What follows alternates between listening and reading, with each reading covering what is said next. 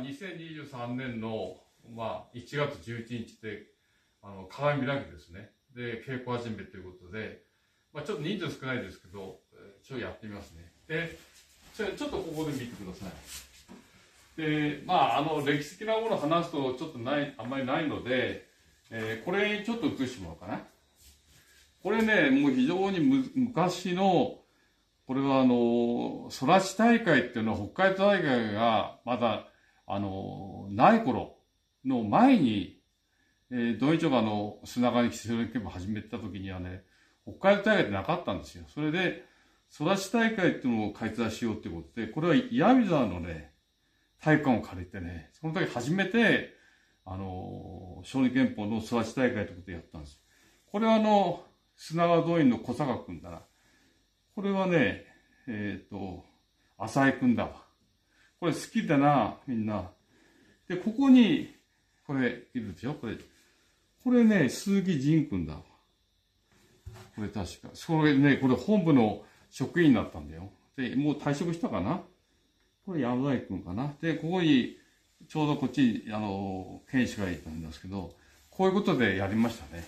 あの、非常に懐かしい写真があったので、一応、あの、見せてきます。それと、原譜で言えば、あの、これですね。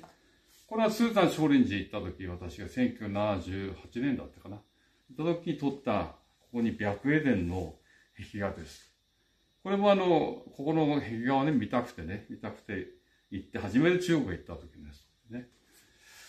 それから、最近あの、即答芸について、あの、よく話をするようになってるでしょ。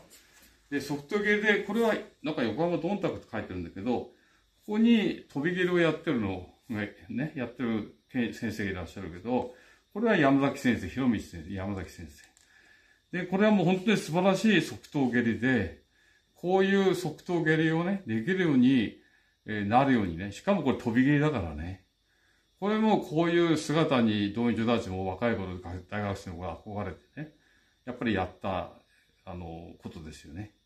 まあ、稽古すると。やっぱり小児憲法と飛び蹴りの即答ってのは、すごく非常にインパクトのある美しい形だったから、みんなこういうものに憧れたよね。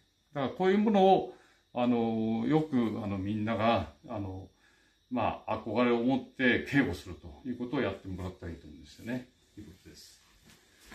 で、今日は、一応、上白取りについて、あの、基本が、あの、基本の中でこの上白取り一番最初にやってほしいってことだと思って、これを説明したいと思います。